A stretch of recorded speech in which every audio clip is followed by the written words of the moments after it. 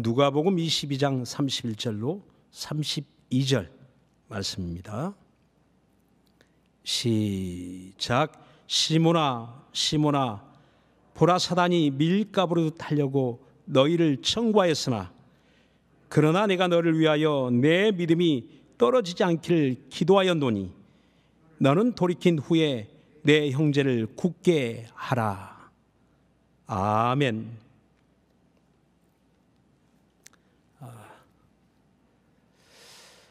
우리가 신앙생활 하면서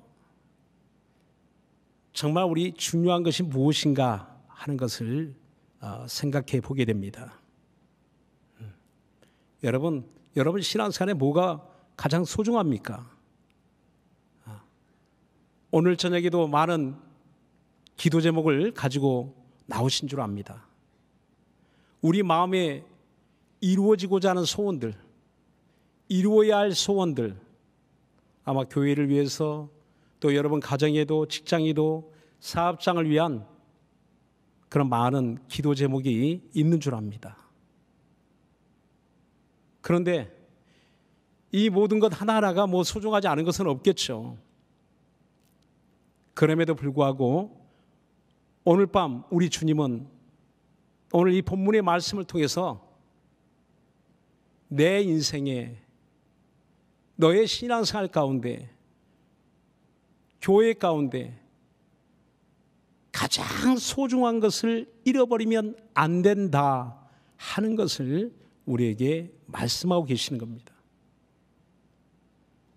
내 물질을 잃어버려서도 안 되고 내 명예를 잃어버려서도 안 되고 내 가진 것들 그 어느 것 하나 소중하지 않은 것이 없겠죠. 그런데 진짜 잃어버리면 잃어버리면 안 될 것. 그것을 위해서 주님이 기도하시는 것을 보게 됩니다. 그래서 이 32절에 보니까 내가 너를 위하여 내 믿음이 떨어지지 않기를 기도하였노니 내 믿음이 떨어지지 않기를 주님이 기도하고 계신다는 겁니다. 여러분, 믿음이 잘 붙어 있습니까? 어디에 붙어 있습니까? 심장에 붙어 있습니까? 간에 붙어 있습니까? 도대체 믿음이 어디에 붙어 있어야 될까요? 주님은 그 믿음이 떨어지면 안 된다는 겁니다. 그 떨어지다는 그 말의 의미 가운데는 해와 달의 빛이 점점 어두워지다가 사라지는 것을 말합니다. 그렇게 심각한 상태를 일컬어 떨어진다. 그 원어의 의미를 가지고 있습니다. 만일 해 그 빛이 태양의 빛이 사라져 버린다면 어떻게 될까요? 밤에 달빛이 없는 캄캄한 밤이 되어 버린다면 오늘 우리의 믿음이 그렇게 되어진다면 무슨 소용이 있겠느냐 하시는 말씀이겠죠. 그런데 믿음이 떨어지게 되는 중요한 이유가 있습니다. 우리 주님이 일러주신 그 원인이 있다는 거예요. 그게 31절에 이렇게 주님이 명확하게 이야기합니다. 시모나 시모나 보라 사단이 밀가부로 하려고 너희를 청구하였으나 항상 청구하는 자가 있다는 겁니다. 그 청구하는 그 존재가 사단이요. 사단은 예수님의 제자일지라도 가장 가까이 있는 예수님과 가장 가까이 밀착되어 있는 수제자 베드로라 할지라도 그의 믿음을 청구한다는 겁니다. 어떻게 해요? 여러분 밀가 밀가부로 보셨나요? 저 어릴 때 많이 봤어요. 이렇게 밀을 까부르진 않고 저희 어머니는 쌀을 까부르시더라고요. 이렇게 까부래요. 아, 요즘은 뭐 이제 어, 이게 탈곡이 잘 돼서 요즘은 그렇게 까부르지 않아도 여러분이 맛있는 쌀밥 아주 순도 높은 쌀밥을 드실 수 있지만 아, 저희 어린 그런 시절에는 까부르지 않으면 이게 뭐 거기 돌도 돌도 들어 있고 뭐 어, 껍질도 들어 있고 그래서 영 밥을 먹을 수가 없을 정도로 이렇게 불편함이 있죠. 까불어요 이렇게 쌀을 시골에서 농사져서 탈곡해 가져온 그 쌀을 까부릅니다. 그러면 알곡대로 쭉정이대로 이렇게 나눠지거든요. 알곡은 쭉쭉 당겨오고 가벼운 쭉정이는 뒤로 쭉쭉 빠집니다. 이 까부르니까. 근데 사단이 그렇게 까부른다는 겁니다. 정신없죠. 어, 그 까부르는 그 대위에 있는 쌀과 쭉정이는 막 정신없이 흔들리면서 분리가 됩니다. 막 분리가 돼요. 음. 그런데 이것을 청구하신 이가 하나님이 아니시고 사단이 하나님의 원수된 사단 인간의 원수된 사단 그 사단이 청구한다는 겁니다. 청구 한다. 가지려고 한다는 겁니다. 빼앗으려고 한다는 겁니다. 제자들의 믿음이라도 빼앗으려고 하고 성도들의 믿음을 빼앗으려고 그래서 주님은 너희를 청구하였으나 한 사람이 아니고 주님 그 시몬과 더불어 사랑하는 모든 제자들을 다 청구하고 아니요 지금 모든 예수를 믿는 믿음을 가졌다라고 하는 사람들의 믿음을 청구한다는 겁니다. 시도 때도 없이 예. 시도 때도 없이 얼마나 어, 어마어마한 이야기입니까? 음. 날 잡아놓고 어느 날 까부른 다음 그날만 조심하면 되겠는데 이게 사단이란 그 존재는 그 실체는 시도 때도 없이 오늘 차별 없이 아주 차별이 없어요. 까부른 데는 믿음이 연약한 자나 믿음이 좋은 자나 열심히 하는 자나 열심히 하지 않는 자나 아, 뭔가 등급을 매겨가지고 1등급부터 10등급까지 아 5등급 이하로만 까부른다 저 청구한다 그러면 어때 가든지 5등급 안에 들어서 안심하고 안전하게 살면 좋겠는데 그게 아니라는 겁니다. 1등급부터 10등급까지 등급에 상관없이 내가 매겨놓은 신앙의 등급에 상관없이 청구한다는 겁니다. 그래서 어, 우리가 특별히 신약 성경을 보면 어, 너희는 깨어 있으라. 어? 또 쉬지 말고 기도하라. 음. 너희가 믿음에서 떠난다가 떠난 자가 되지 않도록 주의하라. 각별히 이런 주의를 당부하는 말씀들이 수도 없이 많이 성경에 반복적으로 나옵니다.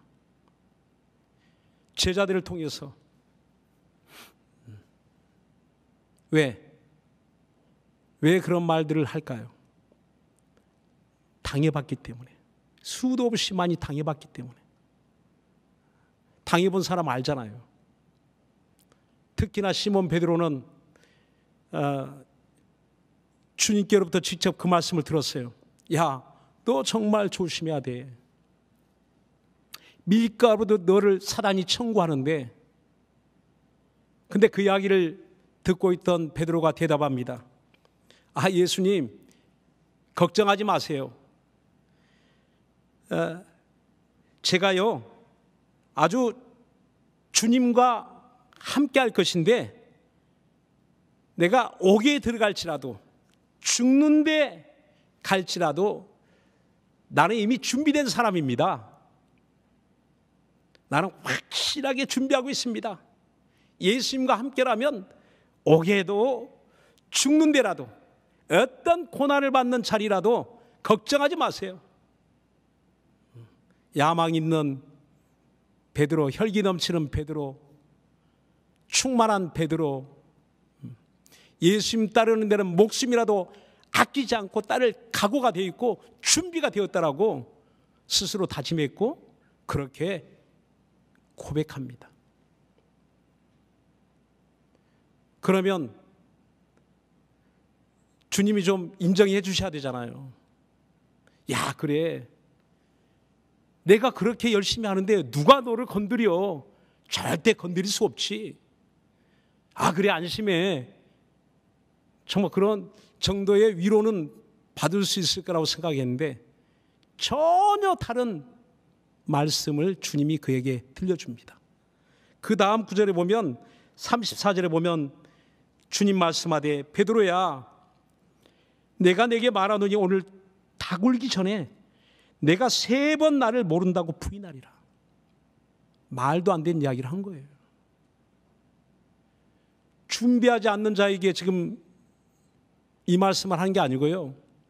목숨까지 내놓을 각오가 있는 시몬 베드로에게 이 말씀을 하시는 겁니다. 너 오늘 밤에 날 부인해. 그것도 세 번씩이나 강력하게 너가 나를 모른다고 할 것이다.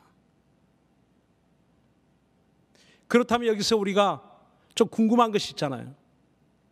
아니, 예수님, 기도했다는데, 나를 위해서 기도했다는데, 어떻게 그런 일이 일어날 수 있습니까? 라고 되물을 수도 있을 장면이거든요.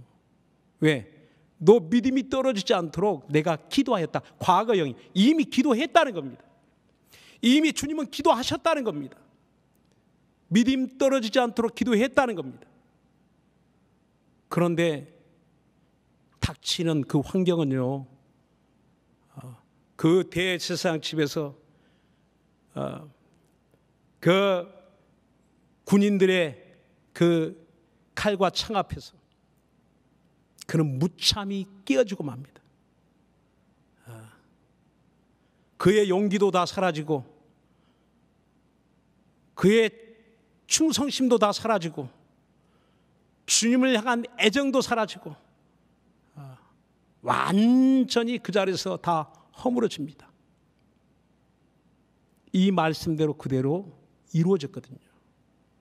음. 아. 그런데 놀라운 것은요, 주님의 기도는 역시 응답이었습니다. 주님의 기도는 확실히 이루어졌습니다. 시몬 베드로가 그렇게 실망하고 낙심하고 자기 자신을 볼 때 얼마나 창피하고 부끄럽고 그런데 나중에 보니까 다시 주님께 돌아오더라고요. 다시 주님께 돌아와서는 그는 자기 진짜로 자기 목숨을 바치는 충성된 제자가 되더라고요. 다시 일어날 힘과 그 용기가 어디서 온 것일까요? 내가 너를 위하여 내 믿음이 떨어지지 않기를 기도하였노니 주님의 그 기도 소리는 베드로를 향한 그 기도는 그의 사랑하는 제자를 향한 그 기도는 결코 헛되지 않냐고 응답의 결실로 돌아옵니다. 요한복음 17장에 그 기도 보세요. 자기를 위한 기도입니까? 다 제자들을 위한 기도. 예수를 믿는 자들을 위하여 기도하지 않습니까? 그 축복의 기도가 이루어지는 것을 보게 됩니다. 그렇다면 오늘날 저와 여러분은 어떻게 되었습니까? 주님이 기도해 주실까요? 안 해 주실까요? 로마서 8장 34절에 보니까 우리 주님은 지금도 하늘 우편 보좌에서 우리를 위하여 친히 간구하시느니라라고 말씀합니다.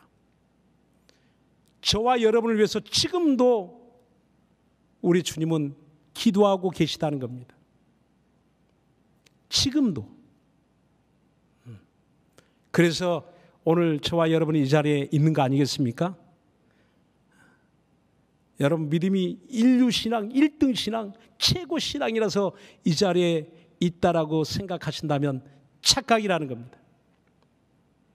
여기 있는 목사도 그럼 내가 성경 많이 읽고 기도 많이 했으니까 이 자리에 있는 거지. 천만의 말씀. 하나님의 은혜입니다. 우리 주님의 기도가 없었다면 우린 다 부도날 사람들이에요. 그 부도날 수 있는 많은 조건들을 가진 사람입니다. 베드로만 그렇게 체질이 약한 사람일까요? 아니요. 여기 서 있는 목사도 여러분도 과거를 생각해 보면 부끄러울 때가 많이 있지 않습니까? 아슬아슬할 때가 많이 있었지 않았습니까? 그때 조금만 내가 빗나갔으면 완전히 털어먹고 끝났죠. 네. 믿음 털어먹고 끝났습니다. 떨어지고 떨어지고 추락해서 다시 회생할 수 없는 거기서 이젠 믿음이라고는 발견할 수 없는 그런 사람이 되어버렸을 겁니다. 그런데 여러분 참 신기하기도 하지 않습니까? 오늘 이 자리에 있거든요. 그렇게 어마어마한 사건들을 겪으면서도 고난을 겪으면서도 상처를 받으면서도 아니요 하나님이 어디 계셔? 하나님 안 계신 것 같아. 그러지 않냐고 확실히 하나님이 계시는구나. 하나님이 나를 지켜주셨구나. 안도의 한숨이 나오고, 어, 아, 하나님께 감사의 참 고백이 나오게 됩니다. 음. 투표로 하나님 계신 걸 물어볼까요? 아, 아마 이 자리에 절반이 아 나는 하나님 안 계신 것 같아. 아, 절반은 아 나는 하나님 계신 것 같아. 그럼 계신 거예요, 안 계신 거예요? 우리가 투표에서 물어볼 수 없는 것, 다수결로 할 수 없는 것, 하나님의 실존입니다. 하나님의 은혜의 실체입니다. 오늘 우리 믿음의 실, 우리 실상입니다. 그거는 우리가 다수결로 할 수 없어요. 우리 주님이 내 믿음이 떨어지지 않기를 내가 기도하였노니 주님이 우리를 위하여 믿음이 떨어지지 않도록 기도하지 아니하신다면 아니하셨다면 우린 다 신앙에 부도날 사람들이 다 이 자리에 앉아 있는 겁니다. 그래서 성경에 욥이란 사람을 보면 정말 우리가 볼 때 항상 고난이 있을 때 욥의 이야기를 어, 하게 되죠. 성경에도 이미 욥이란 사람이 얼마나 탁월한 믿음을 가졌는지를 말하고 있습니다. 당대에 그렇게 의로운 사람이 없다. 그렇게 의로운 사람이 없다. 성경에 의로운 사람의 대명사 세 명 중에 한 사람이에요. 욥은. 어마어마한 거 아닙니까? 그러니까 이렇게 하나님 보실 때 당대에 이렇게 순전하고 진실하고 정직하고 의로운 자는 내가 본 적이 없다라고 인정한 사람입니다. 그런데 그의 삶이 완전히 곤두박질 치기 시작합니다. 모든 재물을 다 잃었어요. 하나님이 안 계시기 때문에 그랬을까요? 그 다음에 자녀들이 다 갑자기 자연재해의 큰 태풍이 몰아쳐서 다 어, 한날에 죽었습니다. 하나님이 안 계셨기 때문에 그런 재앙이 닥쳤을까요? 자신의 육체마저 병들었어요. 머리끝에 발끝까지. 뭘 그렇게 크게 잘못해서 그럴까요?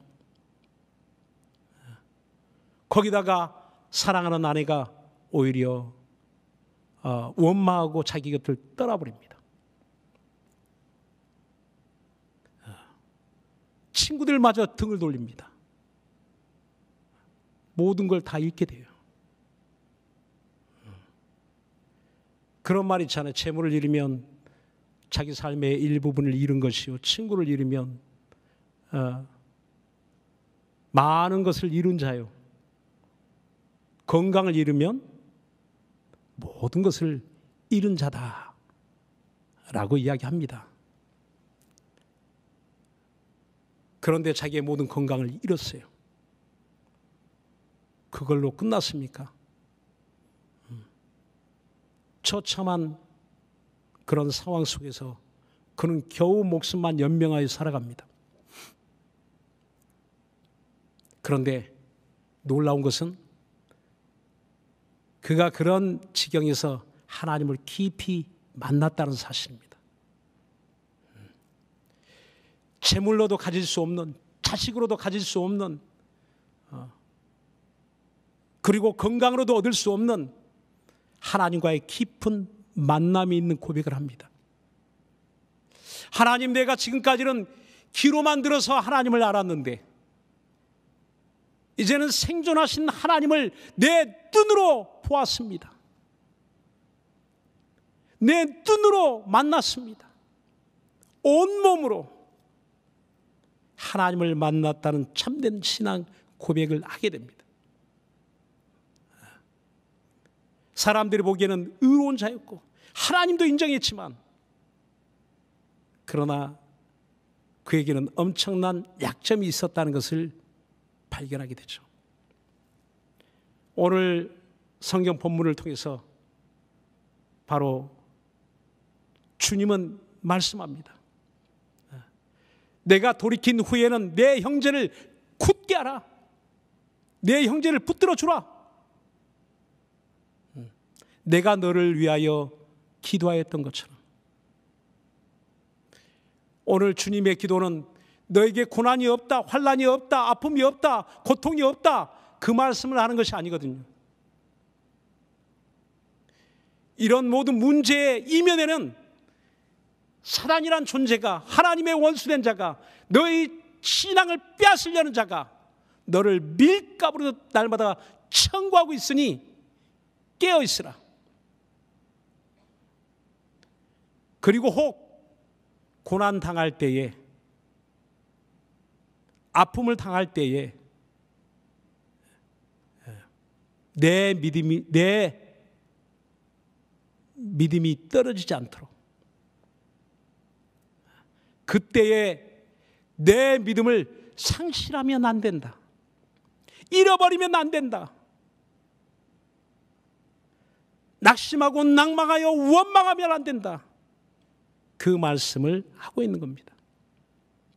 때로는 병들 때도 있고 때로는 재물을 잃을 때도 있고 때로는 내 원대로 내 마음대로 안 되는 일도 많이 있지만 그러나 그때가 모든 것을 잃어버린 때가 아니고 재물은 잃었어도 건강은 잃었어도 잃어버리면 안 될 것이 있으니 곧 믿음이다. 하나님을 신뢰하는 믿음이다. 주님을 의지하는 믿음이다. 라는 말씀을 우리에게 하고 있는 겁니다. 그래서 오늘 저와 여러분이 오늘 밤 나온 겁니다. 에베소 6장 11절을 보면 마귀의 괴계를 능히 대적하고 능히 승리하기 위해서 하나님의 전신갑주를 입으라라고 말씀합니다. 그런데 그 하나님의 전신갑주를 입고 완벽하게 무장하는데 중요한 두 가지가 있더라고요. 믿음의 방패와 성령의 검을 가져라. 곧 하나님의 말씀이니라라고 합니다. 전쟁에 나란 군인이 장수가 그 두 가지 방패 없이 전쟁에 나갈 수 있나요? 칼 없이 무기 없이 전쟁에 나갈 수 있나요? 가장 자기를 보호할 수 있는 철저한 준비 그 두 가지는 바로 방패와 믿음의 방패, 믿음이 있어야 되고 그 다음에 어, 성령의 검, 곧 하나님의 말씀 없이는 안 된다 하는 말씀을 하고 있는 겁니다. 그런데 이 모든 것을 갖췄으면 그 다음에는 어, 기도하라라는 말씀이 있어요. 오늘 밤에 우리는 믿음이 떨어지지 않도록 주님이 기도하신 것처럼 이젠 저와 여러분이 이 밤에 해야 될 중요한 그런 기도의 제목이 있다면 뭐 오늘 밤에 가지고 나온 많은 기도 제목도 있겠지만 믿음이 떨어져 버리면 아무 소용이 없다는 겁니다. 우리 교회 믿음이 떨어지면 믿음이 떨어진 교회가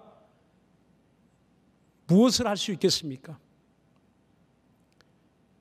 개혁교회 정말 중요한 것이 있다면 믿음이 떨어지면 안 된다는 겁니다. 내 가정 믿음이 떨어져서는 안 된다는 겁니다. 오늘 우리 신앙생활에 많은 것들이 갖춰지고 있어야 되겠지만 믿음이 떨어져 버리면 다른 그 무엇을 다 갖춰도 소용이 없다는 겁니다. 믿음이 떨어지지 않는 그 기도, 우리 기도 제목의 1순위가 되어야 되지 않을까요? 주님 오늘 믿음이 떨어지지 않기를 너를 위해서 기도했다. 제자들을 위해서 기도했다.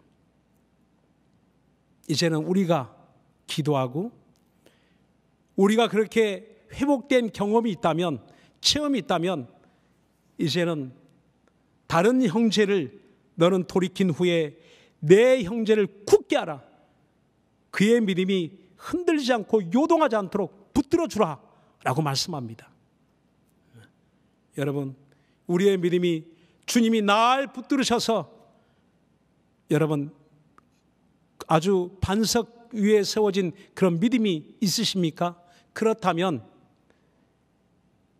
이제는 내 차례라는 겁니다. 나도 내 가까이 있는 형제의 믿음을 굳게 하라. 그 연약한 우리 성도들의 믿음이 흔들리고 떨어지지 않도록 낙엽처럼 떨어지지 않도록 쓰러지지 않도록 다시 회복되어 일어날 수 있도록 기도하라는 겁니다. 중요한 것은 비록 어려운 일을 당했어도 모든 걸 다 예방하고 다 막아주고 다 지켜주면 좋겠지만 어, 우리 주님도 이렇게 말씀하신 우리 주님도 그 길을 가지 않습니까? 고난의 길을 십자가의 길을 그리고 이제 성도들이 당할 그런 환란이 기다리고 있거든요. 교회를 위한 어마어마한 핍박이 기다리고 있었거든요. 그 가운데서 이 말씀을 기억한 성도들은 그런 아픔이 오고 그런 엄청난 박해가 오는 그때에 그 믿음을 지켜 나갈 수 있는 그런 용기를 어, 가지게 되었을 겁니다. 비록 여러 가지 실수도 있고 낭패도 당하고 아 나는 망했다 실패했다 안 된다 힘들다 어렵다 하는 그런 많은 경우들을 당했을지라도 거기에 굴복하지 않고 다시 어떻게처럼 또 일어나고 또 일어나고 또 일어날 수 있는 그러한 힘은 바로 주님의 기도였습니다. 주님이 우리를 위하여 기도하셨기 때문에 우리는 얼마든지 일어날 수 있습니다. 그 실망한 자리에서 여러분 일어나세요. 낙심하는 자리에서 일어나세요. 그리고 이제 우리 기도해 줘야 됩니다. 연약한 자를 볼 때, 아, 저도 나처럼 쓰러질 수 있구나. 저도 나처럼 후회할 수도 있고, 낭망할 수도 있고, 원망할 수도 있겠구나. 음. 베드로처럼 얼마나 낙심했을까? 아마 우울증 걸렸을 것 같아요. 예수님 나는 모른다. 나는 예수님을 모른다. 하고 나서 그 다음부터 아뭐 심한 그런 우울증에 시달렸을 것 같아요. 너무 괴로워서 그렇게 사랑하는 주님을 부인했다는 사실 자체가 얼마나 어, 자기 자신에 대해서 실망했겠습니까? 저도 때론 제 자신에 대해서 실망하는 게 한두 가지가 아니더라고요. 나이를 먹을수록 더 없었으면 좋겠는데, 아, 신앙의 연륜이 쌓일수록 완벽하면 좋겠는데, 완전하면 좋겠는데, 형편없는 내 자신을 볼 때, 내가 진짜 예수 믿는 성도냐? 아, 때론 강단에 올라오기가 부끄러울 만큼 그런 연약함이 저에게 있는 것을 보게 됩니다. 음. 그럼에도 불구하고 또 이렇게 말할 수 있는 용기를 주시고 또 이렇게 살아갈 수 있는 용기를 주시고 그분이 저와 함께 하시기 때문입니다. 사랑하는 여러분, 오늘 이 밤에 나의 나 된 것은 주님의 은혜라고 고백하시고 이제 또 한번 다시 한번 힘을 얻고 어, 이렇게 우겨쌈을 코로나라는 우겨쌈 정말 이 코로나로 아주 밀가부르듯 우리를 까부르는 것 같아요. 온 교회를 까부르는 것 같아요. 어? 내 나라, 내 나라, 어? 너 믿음 내 나라, 믿음 내 나라, 내 믿음 내가 가져가겠다라고 사단이 계속 청구하고 있지 않나는 그런 생각이 들 때가 있습니다. 오늘 이와 같은 어, 험악한 시대를 우리가 살아간다 할지라도 우리 교회가 참으로 이 바이러스라는 막 장애물을 만나서 얼마나 고초를 당한지 모릅니다. 그러나 오늘 그 이면에는 사단의 실체가 정말 우리 믿음을 뺏어가려고 하는구나. 만날 수 없을 때, 모일 수 없을 때 우리 믿음을 하나님이 안 계신 것 같아. 우리 믿음을 순간에 무너지게 하는 존재가 있구나. 내가 왜 이런 생각이 들지? 순간에 아담과 하와가 무너지는 것처럼 우리도 무너질 수 있구나. 하는 것을 우리가 안다면 다시 한번 깨어서 더욱 우리 살아계신 주님을 의지할 수 있기를 바랍니다. 할렐루야. 우리 시간 함께 기도하겠습니다.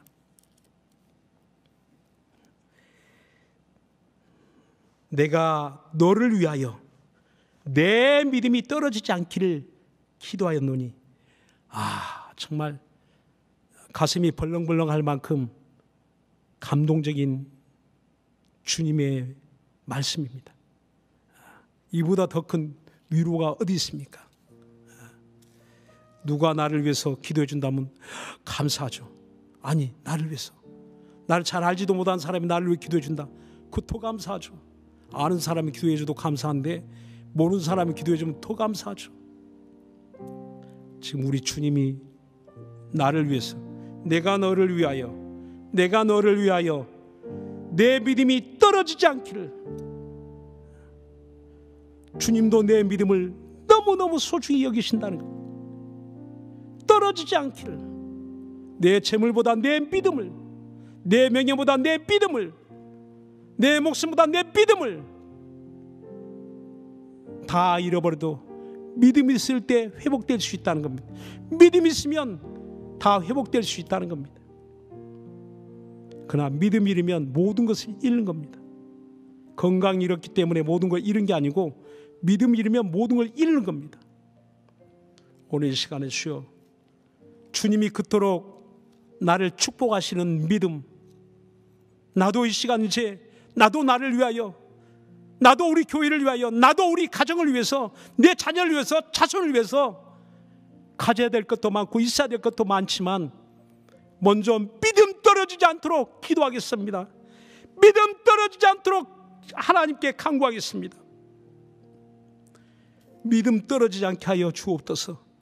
성령께서 꼭 붙들어 주셔서 믿음 부도나지 않게 도와주소서. 혹시 바닥에 있는 사람이 있다면 뭔가 멀어지는 사람이 있다면 다시 돌아오게 하여 주옵소서. 돌이켜 돌아오게 하여 주옵소서. 멀어진 자리에서 다시 주님께로 돌아오게 하여 주옵소서. 아, 이 시간에 우리 예수여 한번 부리고 간절한 마음으로 우리 기도합시다.